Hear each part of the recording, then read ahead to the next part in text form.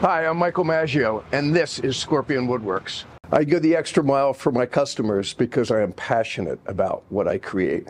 Each piece in this shop has a story, and that's what makes it special. Talk about special. Check this piece out. I found this beautiful piece of driftwood on the beach in Delaware, carried it for two and a half blocks to my car, and stared at it for probably two months before I started working on it. I had a client look at this one day and they saw a kangaroo in it.